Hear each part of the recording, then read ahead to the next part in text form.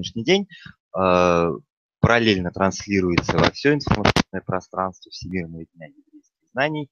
И это делает нам особую честь, потому что это говорит о том, что та тема, которую мы попробуем обсудить с вами за этим столом, интересна не только нам. Меня зовут Андрей. Я культур, культуролог, искусствовед. И вот этот разговор о самом, быть может, одним, одном из самых известных, но при этом неисчерпаемом и достаточно парадоксальном псалме из э, общего собрания Таилим или Псалмерия, это попытка воспроизвести новый, нового прочтения, которое делает вместе филолог и художник. Мы будем говорить о визуальности текста этого псалма. Псалма, который стал девизом и эпиграфом, в частности, Всемирного дня еврейских знаний, посвященного проблемам природы и экологии. Итак, в ваших наборах текстов есть э, разные, есть э, параллельный э, сопоставление по стихам э, текста псалма русского, э, иврита, оригинальный текст и русского перевода. И в качестве, вот на правах подстрочника мы использовали э, вместе, готовя эту презентацию, я должен сказать о другом авторе, который сегодня представляет эти же темы в городе Москве. Это Юлия Петракова, петербургский э, филолог, преподаватель иврита, знаток текстов и знаток еврейского искусства. Это наша совместная идея, которую мы уже представляли. А, мы выбрали один из современных переводов, э, современный еврейский перевод, который делает этот текст очень понятным и доступным современному человеку. Когда мы говорим о псалмах, это действительно история многократных переводов, потому что это текст, который понятен, узнаваем во всей европейской культуре. Переводов существует множество, у всех есть свои достоинства, свои недостатки, но именно отражаясь многократно в разных переводах, эти тексты по-новому читают, и нам будет интересно, что выходит на первый план у разных переводчиков, которые пытаются сделать этот текст своим. Итак, 104-й псалом. Еще одна трудность перевода, что если, например, вы начнете искать этот псалом в христианских источниках, в христианской Библии точно этот же текст пронумерован 103-м. Это проблема из-за того, что один из псалмов, да, как бы в еврейском э, каноне разделен на два псалма, да, в христианском колоне, э, каноне собран, собраны два псалма в один. То есть это опять намек на то, что в истории э, эти тексты существовали, они не всегда стояли в таком порядке, не всегда у них была такая нумерация. Итак, есть некий текст, текст, который знают все, текст, который одинаково близок евреям и христианам, несмотря на то, что у одних он называется 103, а у других 104. Текст, который сегодня мы один раз давайте попробуем прочитать его целиком, чтобы задаться вопросом, а для чего этот текст нужен, про что он вообще. Я читаю в современном русском переводе. «Благослови душа моя Бога, о Бог всесильный мой, ты возвеличился беспредельно, величию и, красо, и красу ты облачился. Облегший светом, словно плащом небеса простер он, как шатер. Проложил в водах горние чертоги свои, делает облака колесницы своей. Шествует на крыльях ветра, делает бури посланниками своими, служители его, огонь пылающий. Землю основал на устоях ее, чтобы не пошатнулась она во веки веков. Бездную, как облачением, покрыл ты ее, на горах стояли воды. От окрика твоего убежали они, от голоса грома твоего быстро ушли. Зашли горы, долины опустились к тому месту, которое ты основал для них. Предел ты установил, чтобы не переступали, чтобы не возвращались они покрывать землю. Посылаешь источники в долинные реки, между горами текут, поют всех полевых зверей. Дикие ослы утоляют жажду свою, над ними обитают птицы небесные, из среды ветвей голос подают, поешь горы из горних чертогов твоих. Плодами творений твоих насыщается земля. Ты взращиваешь траву для скота, растения для работы человека, для того, чтобы хлеб произвести из земли и вино, что веселит сердце человека, и масло, от которого блестит лицо его, и хлеб, подкрепляющий сердце человека. Насыщаются деревья Бога, кедры ливанские, которые насадил. На них птицы гнездятся, кипаристы, жилище аисту. Высокие горны серном, скалы, убежище доманом. Сотворил он луну для определения времен. Солнце знает свой заход. Ты установил тьму, и бывает ночь. В нее, во время нее бродят все лесные звери. Молодые львы рычат о добыче, просят у всесильного пищу себе. Засияет солнце, они собираются, ложатся в свои логовища. Человек выходит к занятию своему, на работу свою до вечера. Как многочисленны творения твои, Бог, все сотворил ты с мудростью, полна земля произведений твоих. Вот море великое, обширное, там присмыкающиеся, и нет им числа, животные большим и малым. Там корабли ходят, и этот Левиафан, которого ты сотворил, чтобы он резвился в нем. Все они от тебя ожидают, чтобы ты дал им пищу в свое время. Ты даешь им, они принимают. Утверждаешь руку твою, насыщаются благом. Скроешь лик твой, смятение охватит их. Отнимешь дух их, умирают, в прах возвращаются. Пошлешь ты дух свой, они возродятся, обновишь ты лицо земли. Да будет слава Бога вовеки, да радуется Бог о творениях своих. Взглянет на землю, она содрогается, коснется гор, они дымятся. Да будет приятной ему молитва моя, радоваться буду о Боге, исчезнут грешники земли, злодеев не будет более. Благослови, душа моя Бога, славьте Бога. Вопрос. О чем этот текст, если мы хотим определить, для чего автор этого псалма создает этот текст, какова его главная идея, про что? Для того, чтобы восхвалить Всевышнего. Еще другие версии. Главная идея этого текста каждый видит по-своему. Объяснение всего сущего – это некая модель того, как устроен мир вокруг нас. Еще одним ответом может быть, я думаю, такой же правильный, что это псалом о сотворении мира. Потому что здесь точно так же детально в диалоге со Всевышним обсуждается процесс сотворения мира. Ты сделал то, Всевышний поставил это – Сначала было это, а это последовало за этим. И Бог не только все это создал, но поддерживает этот сложный, однажды запущенный механизм. Согласны, что этот текст – это определенная э, мироведческая концепция. Но в чем ее оригинальность? Чем эта концепция, ну, принципиально иная от того, с чего начинается Тора? с рассказа о сотворении мира в самых первых, в самой первой главе, самой первой книги. Что здесь иного, принципиально нового, что важно для нас, как читателей этого текста? Чьими глазами дается эта концепция? Человек.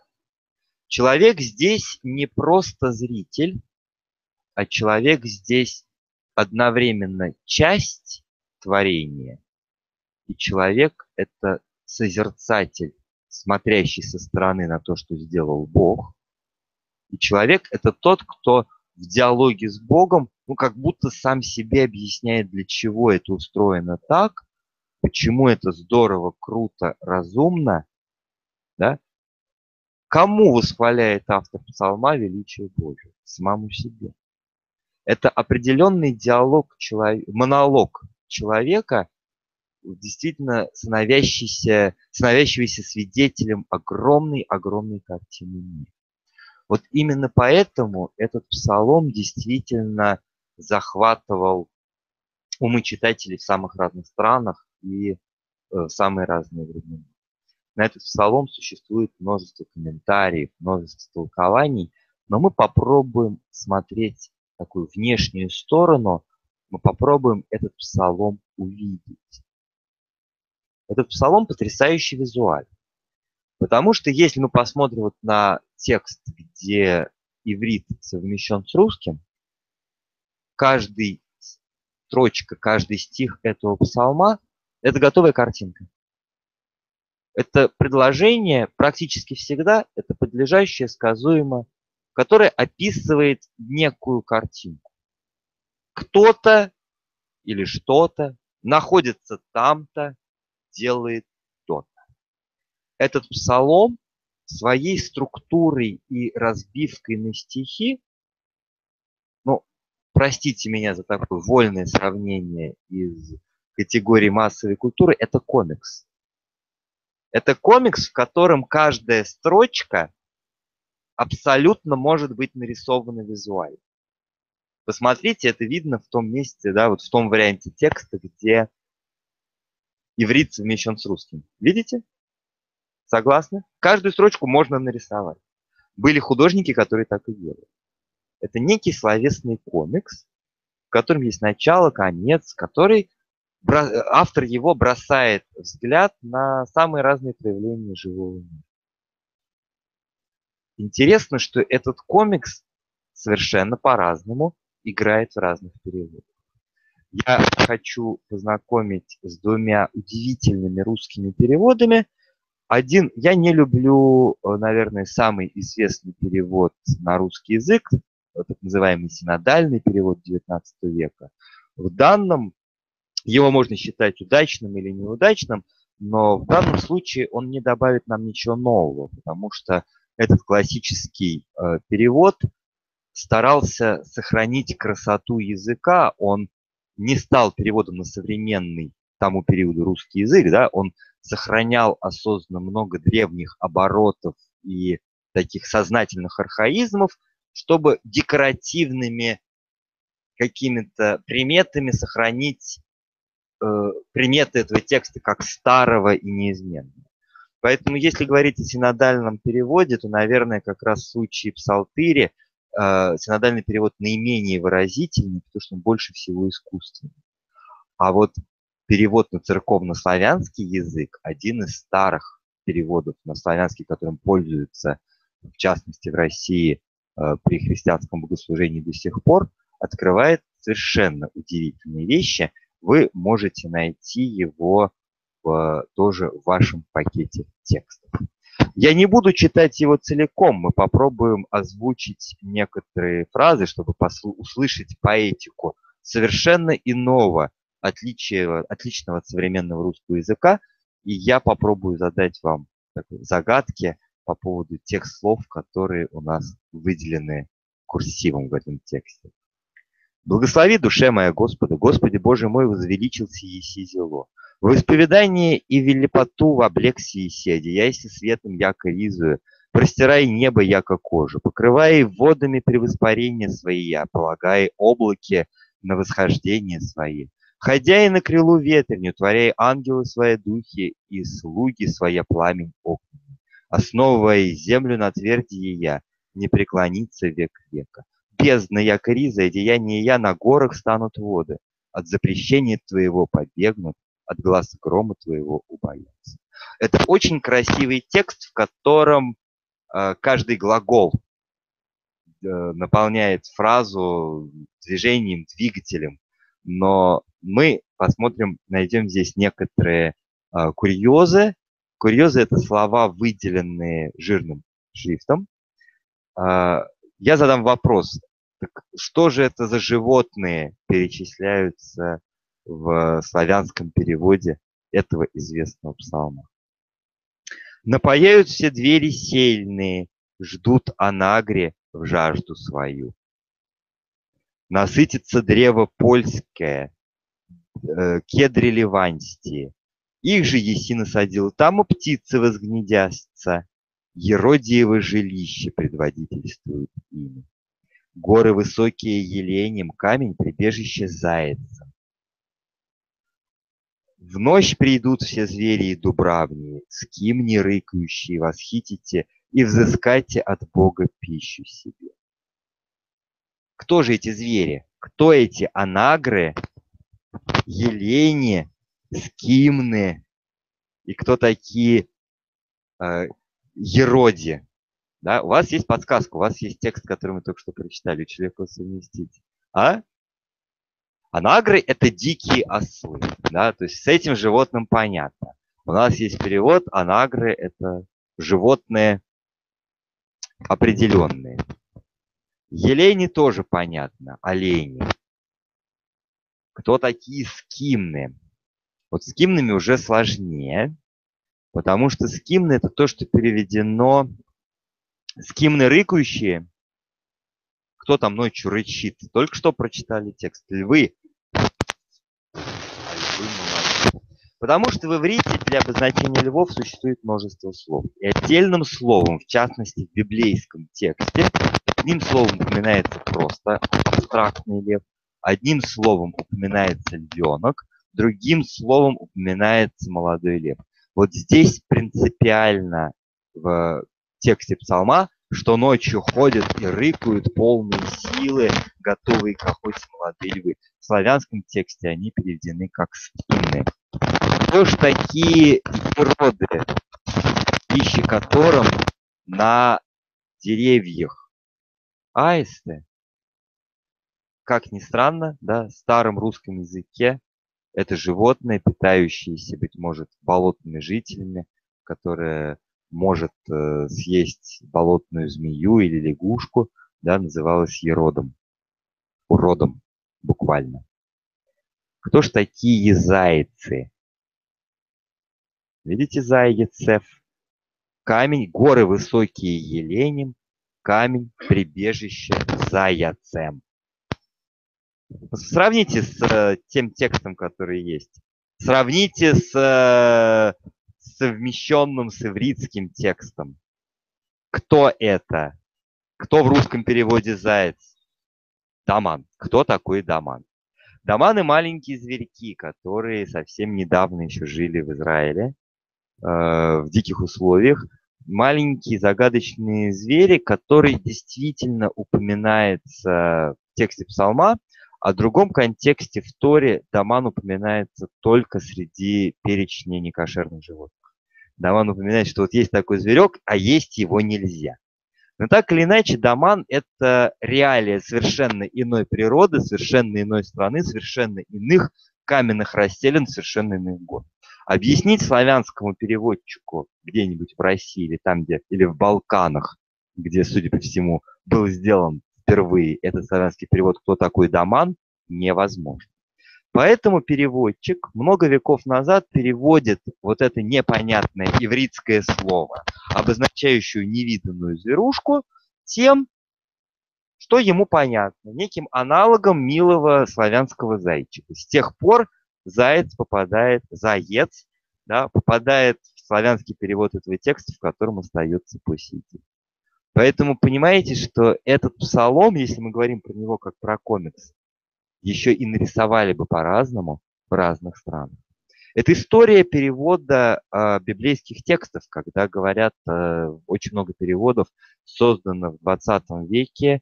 Э, это переводы, например, на, народы, э, на языки народов, которые не имели письменной Библии было сделано христианскими миссионерами. И каждый раз, а, имея миссионерские задачи, переводчики стремились не только а, стремились не к точному, а к адекватному прочтению текста. Известно, например, что понятное ветхозаветным читателям или понятное жителям Азии, жителям Ближнего Востока – понятное европейским христианам понятие агнца как образа жертвы и приношения Всевышнему совершенно не было понятно народам Севера, у которых, которые не знают, как выглядит овца. Да? И когда миссионерский перевод Библии делается, то там писали не агнец, а белый олененок. Потому что эти народы не имеют слова для обозначения ягненка – оно отсутствует в языке. Таких примеров было очень много. Потому что этот текст должен быть не просто стенограммой, а он должен рождать определенное восприятие символическое, а мы говорим, пытаемся найти еще и про визуальное. Ну вот если говорить о визуальном а, прочтении 104-го псалма, я хочу вместе с вами начать читать перевод, наверное, одного из самых известных наших земляков, да, э, соотечественников. Э, перевод XVIII века, сделанный Михаилом Ломоносовым. Михаил Ломоносов – ученый, литератор, поэт, человек эпохи Возрождения для русской культуры, основатель научной школы, да, и в том числе основатель э, переводов и стихотворных переложений библейских текстов. У Ломоносова нет э, полного перевода псалтири. Он не ставил себе такую задачу, а очень многие русские, российские поэты такую задачу ставили и в стихах переводили псалтирь созвучно своему времени. У Ломоносова лишь несколько псалмов было переложено поэтически. Это совершенно иная форма. Мы начнем читать, и у вас будет возможность прочитать это целиком. Благослови душа моя Господа, Господи Боже мой, возвеличился и сизило. Да хвалит дух мой и язык всесильного Творца державу, великолепие и славу, о Боже мой, коль ты велик. Одеян чувств чудной красотой, зарей божественного света, ты звезды распростер без щета, шатру подобно пред тобой. Покрыв водами, покрыв водами высоты, на легких облаках восходишь, крилами ветров шум наводишь, когда на них летаешь ты. И воли твои я послы, как устремления воздушные, всесильным манием послушны текут, горят, не зная мглы. И так далее. Попробуйте стилистически на какую форму это похоже, что выходит на первый план. Ода – это абсолютная ода. Комикс есть? Нет. Комикс пропал. Для Ломоносова главным в этом псалме является обращение к Всевышнему, что, несомненно, в псалме заложено. Но он делает прямое, поэтическое, очень пафосное, возвышенное обращение в форме оды. При этом это не просто обращение поэта, это псалом, который увлекает его сознание как ученого, как естественно испытать. Это псалом, которым поэт, астроном, биолог сходятся воедино. Посмотрите, здесь есть наши смешные зайцы, тигры, хоть где-нибудь это есть в тексте? Нет. Из этого псалма ушли эти подробности. Ослы остались, анагры остались, да? И напаяют всех зверей, что окрест сел себя питают и ждут ослы, как в жажде тают, отрады от руки твоей. Да? Что там осталось от наших доманов, они же зайцы? Да? Живят вертепы каменисты и тем проводят жаркий день. В псалме что-то вышло на первый план. Но это эстетика барокко, эстетика XVIII века, где отношение к природе, да, это время кунсткамер, это время каталогов, это время, когда ученые создают величественные, красивые карты, прекрасные глобусы, карты звездной сферы, где это прекрасный этап познания, где красота является мерилом истины, в том числе и библейской. Это эстетика барочного, барочной эпохи Ломоносова. Когда если слова складываются в воду, размеренную, взвешенную словами, то это такая же гармония, как математическая форма. Вот это попытка сделать эстетически научную молитву. Это молитва художника и молитва ученого. В этом парадоксальность текста Ломоносова. Таких переводов очень много.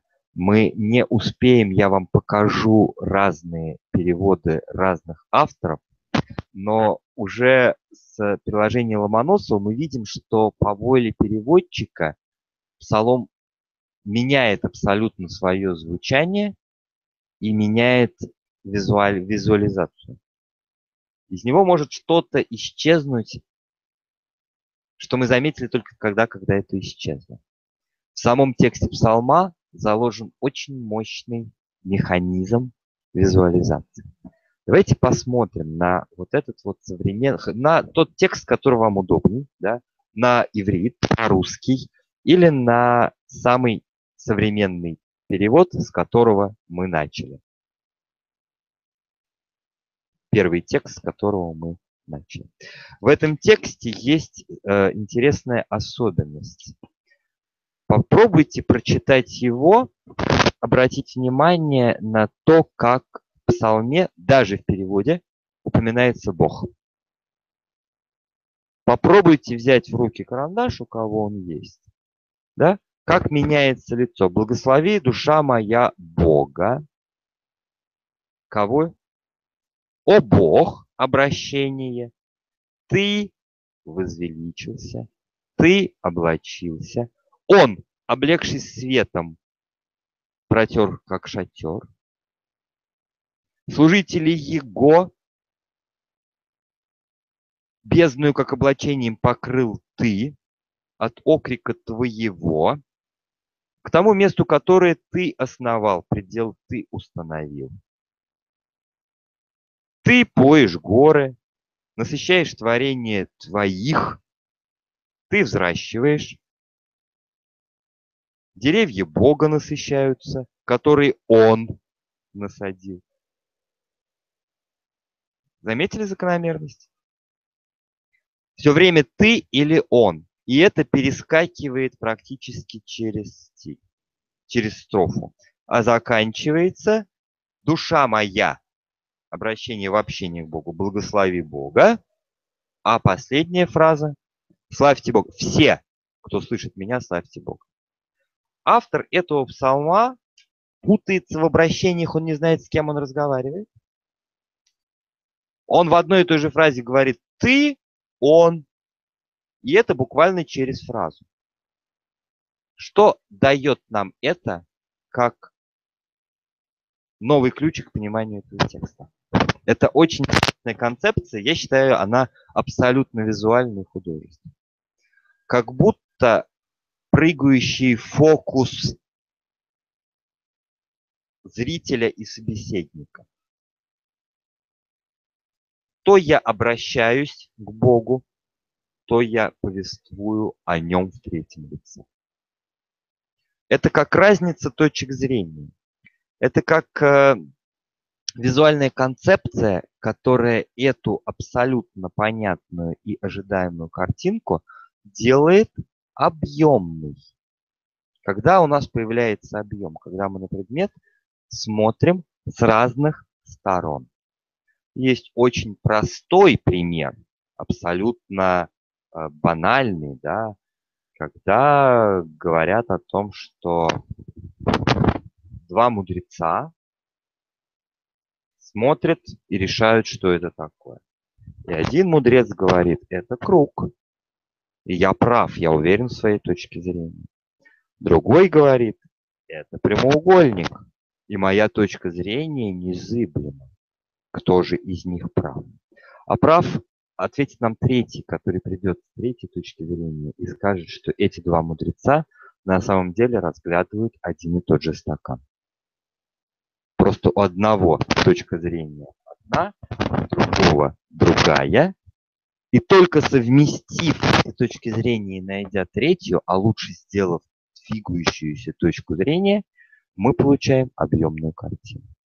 Удивительным делом эта концепция э, рождает новое в изобразительном искусстве в 20 веке.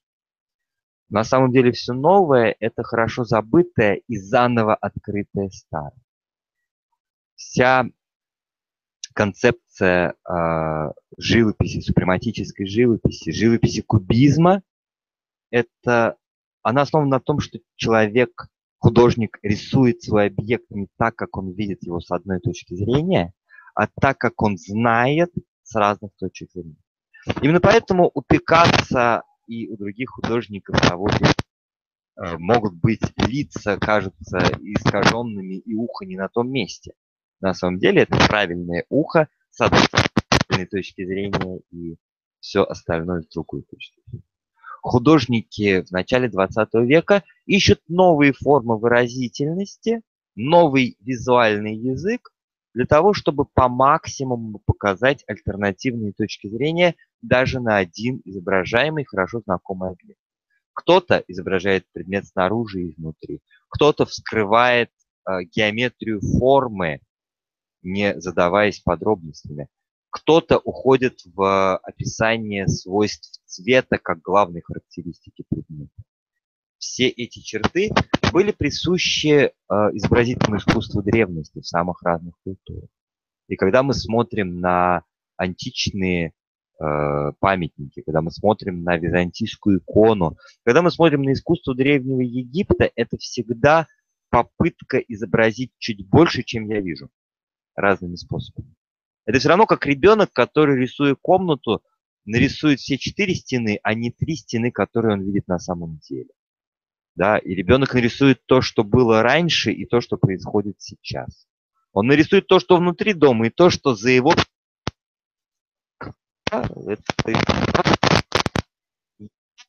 который показывает по максимуму. Вот из всех псалмов, четвертый псалом обладает наиболее ярко вот этим абсолютно визуальным механизмом, который не только делает из текста комикс, где каждую строчку можно нарисовать, но делает этот комикс трехмерным. Он делает его объемным 3D-мультиком, потому что все время даже на Всевышнего смотрит с разной точки зрения. А заканчивается это прекрасным обращением к зрителям. Смотрите все вместе с нами, как это здорово. Все восславьте Бога. Все станьте свидетелями, потому что мы все находимся в этом мире. Мы часть его, у нас есть шанс на то, что наш взгляд с разных точек зрения он объемен.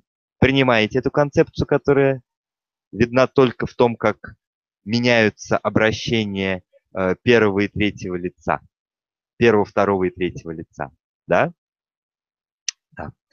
Ну, из интересных переводов э, я, э, у нас приготовлены э, еврейские переводы современных авторов, и для меня очень интересно было бы как раз поговорить о переводе Арье Ротмана.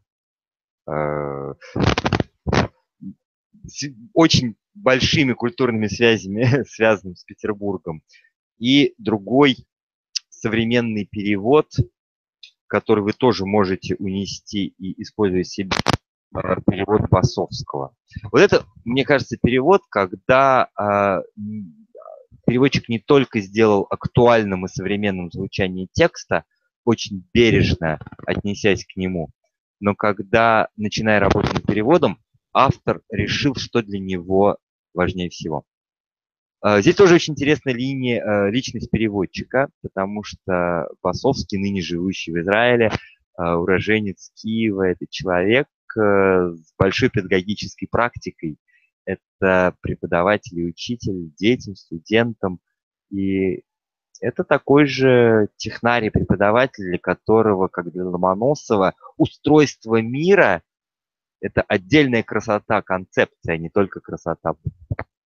А, маленький кусочек прочитаем, чтобы не тратить время, у вас будет возможность этот текст изучить самостоятельно. Господи Боже мой, как дивно, э, как ты дивно велик, сила и слава Твоя в величии этом, светом небесным лучится Господень лик, словно плащом ты одеваешься светом. Ты небеса над миром возвел, как шатер, ты делаешь облака своей колесницей, и над большими водами чертоги свои распростер, и огненный ветер слугой за тобой мчится. На твердых основах землю поставил ты, и во веки веков ей не поколебаться.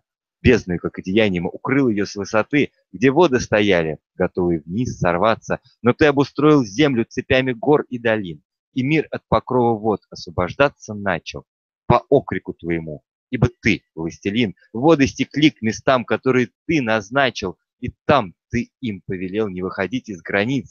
В долинах бьют родники, ручьи, бегут меж горами, поет полевых птиц, гадов земных и птиц. И полнится вся земля твоих творений дарами. Ты взращиваешь траву, чтобы скот был сыт, и всяческие растения для нашей людской работы. Из них нам делать вино, что сердца веселит, и хлеб, что силу дает, и елей для света субботы. Ты создал кипаристы, где аисты гнезда вьют, высокие скалы, где серно находят пищу, ливанские кедры, где птицам тишь и уют, и даже норы в камнях мелким зверькам жилища. Ты луну сотворил для указания времен, солнце знает, когда уйти, дня закрывает двери, Ты простираешь тьму, ею мир поглощен, и во времени ее бродят лесные звери. Э, ваше впечатление от э, поэтики и динамики текста? Очень динамичный и удивительно, что не потерялась структура оригинального псалма. Да? Э, этот переводчик взял каждую картинку. Помните, когда мы сказали, что можно каждый стих он строчки что делает?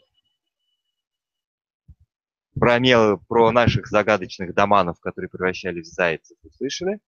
Он их честно называет просто мелкими зверьками да, не погрешая против истины, но не умножая непонятные слова.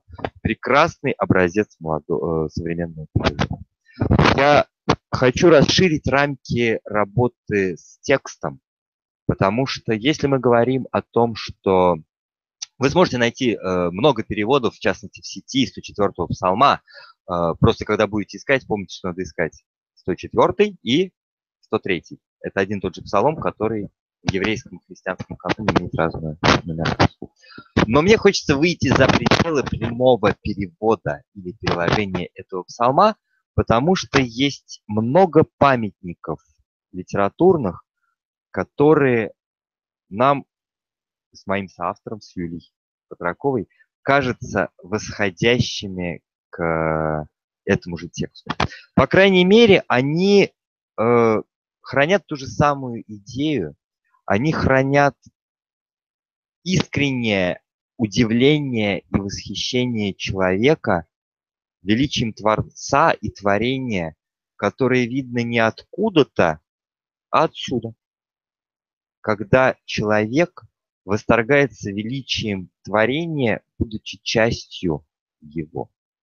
И одно из этих стихотворений, которое предложила Юлия Петракова, это стихотворение «Тигр». Стихотворение «Тигр» в переводе это Блейк, в переводе Самуила Маршака. Он нам приятно. У нас, у нас да, известный наш соотечественник еврейский переводчик. Я его прочитаю, потом вы сможете его... Э, его нету в этом комплекте текста. Наше субъективное родство этого текста с 104 псалом вы сейчас опровергнете я попробую, послушайте и попробуйте сказать, видите ли вы что-то вот в этих механизмах родственное или нет. Тигр, вот тигр светло горящий в глубине полночной чаще, кем задуман огневой соразмерный образ твой? В небесах или в глубинах тлел огонь очей звериных. Где таился он века, чья нашла его рука? Что за мастер полный силы свил твои тугие жилы и почувствовал меж рук сердца первый тяжкий стук? Что за горн пред ним пылал? Что за млад тебя ковал? Кто впервые сжал клещами гневный мост, метавший пламя? А когда весь купол звездный оросился влагой слезной, улыбнулся ли, наконец, делу рук своих Творец? Неужели та же сила, та же мощная ладонь и ягненка сотворила, и тебя, ночной огонь. Тигр, о тигр, светло горящий в глубине полночной чащи, чьей бессмертной рукой создан грозный образ твой? Ваше мнение? Что? Что передает? Здесь нету ни одного упоминания Бога. Здесь все местоимения с маленькой буквы. И здесь автор задается вопросом, кто сделал, кто вообще этот творец, кто впервые сжал клещами, на каком огне, на какой наковальне тебя сковали, какими щипцами тебя сделали. Здесь про Всевышнего в тексте, в общем-то, нет ни одной буквы, на которой мы отвечаем созвучно автору псалма. Вот это вариант, когда а, понятие личности Творца вынесено за текст, а в нем остается вопрос, который пускает нас по тому же пути. Потому что, да, это еврейский подход, когда правильно сформулированные вопросы бывают ценнее, чем ответы. Действительно, э, восторг Блейка перед зачарованной красотой, грацией, силой одного животного, он превращает э, свой текст в такую же оду Творцу, задаваясь вопросами. Это стихотворение не про Бога, это стихотворение про тигра. Но Блейк воспринимает тигра как часть творения, как сложный механизм, как творение невидимого кузнеца. Когда мы начинаем воспринимать то, что рядом с нами, когда мы воспринимаем животных не как сказочных персонажей, а как нечто движущееся, имеющее отличное от нас качество, как совершенные механизмы, мы неминуемо подходим к осознанию присутствия Творца. Это еще одна доля визуальности, которая скрывается в тексте. Согласны со мной? С нами, с нашим. Ну, давайте еще один текст, который, казалось бы, тоже от псалма оригинального, крайне далек. Набоков. Владимир Набоков. Владимир Набоков. Сердцу моему, что быть счастливым. Так немного. Люблю зверей, деревья, Бога, и в полдень луч, и в полночь тьму. И на краю небытия скажу, где были огорчения, я пел, а если плакал я, так лишь слезами восхищения. Вообще о другом стихотворении. Все очень просто. Личное и личный манифест художника. Не так уж много надо для счастья где три вот этих вот точки зрения, три любови абсолютно равноправны. Люблю зверей, деревья, Бога. А кто-то скажет, что это богохульство, он кошку любит так же, как Бог. Почему через запятую Бог не на первом месте? Нет, это любовь к творению и к Творцу. Опять же, с такой же точки зрения, когда когда она возможна честной и равноправной и объемной? Только тогда, когда человек воспринимает себя частью творения, как часть природы, часть мира. Но есть больше. Когда человек воспринимает себя как сотворец. Это долг и это право сопоставить себя с Творцом. Любое творчество дает новые возможности, новую широту, новое восприятие. Текст, быть может, совершенно парадоксален. Это мой любимый текст. Это текст довольно древний. Текст 13 века. Это Джаладин Руми. Наверное, самый известный суфийский поэт ираноязычного, писавший на фарси.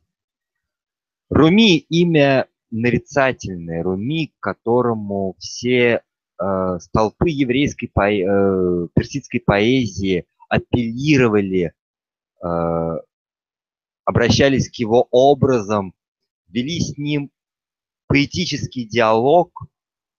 Это не просто поэт, это мистик и философ нам, среди прочего, знаменитую поэму «Атом». Благословенное дыхание в просторах звезд на земле, во мне, в тебе прими признание и луч, родившийся во мне.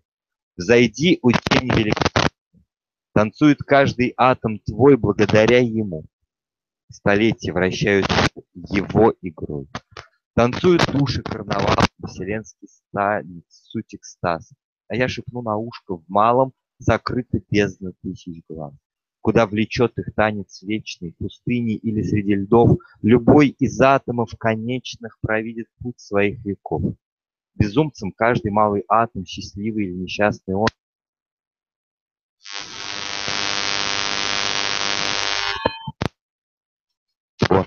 снова смысл мироздания, о нем не скажешь ничего. Как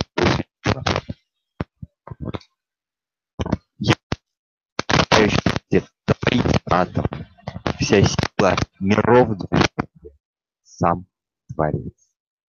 Это, несомненно, религиозный текст, создан и философской традиции.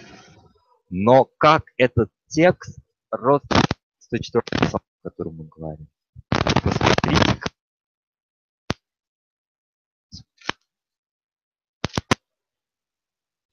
даже из маленького. Ну, во-первых, бы что Руми как будто мечется вверх-вниз и меняет точки зрения, потому что он пишет о море, о волнах, о кораблях, о коралловых рифах. Он погружается на дно моря, поднимается на вершины гор, точно так же, как и автор псалма. Это восхищение мирозданием, где автор в первую очередь путешественник, он смотрит на разные его проявления. Второе – это вот эта игра с э, объемом Всевышнего. Потому что точно так же у Руми это обращение, временами это обращение к Всевышнему, а временами это разговор одной части творения с другой. Когда просвещенный человек, философ, суфий и поэт, затевает свой диалог с тем, из чего состоит он сам. Это диалог Руми с атомами, из которых состоит он. Это становится понятно к концу текста, да, когда э, он затрагивает тему смерти и конечности.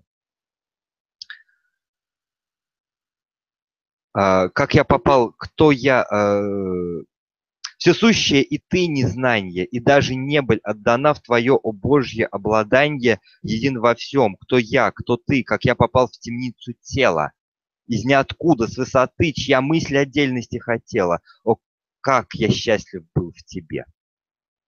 Да?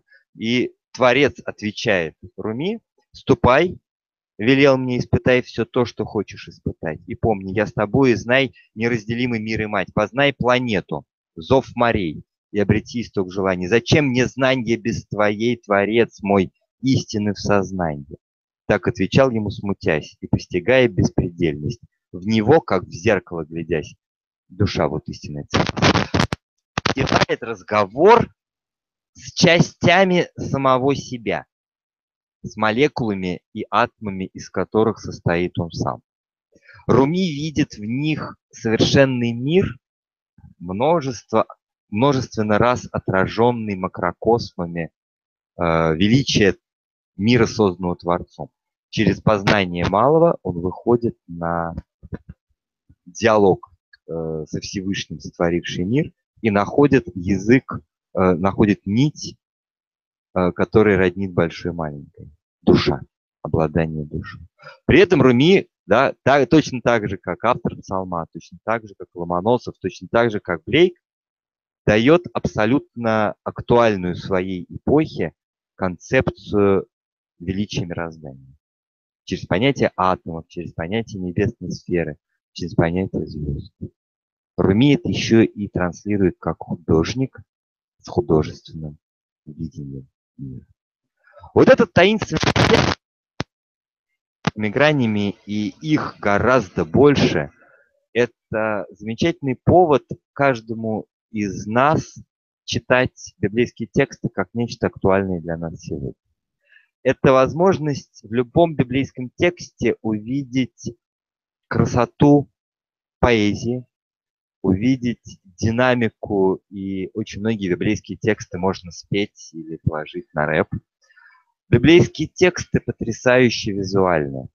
Библейские тексты можно нарисовать. Иногда это та живопись, которая делается закрытыми глазами. Как сказал бы Руми, это те картины, которые мы рисуем на внутренней стороне своих век, едва закрыв глаза.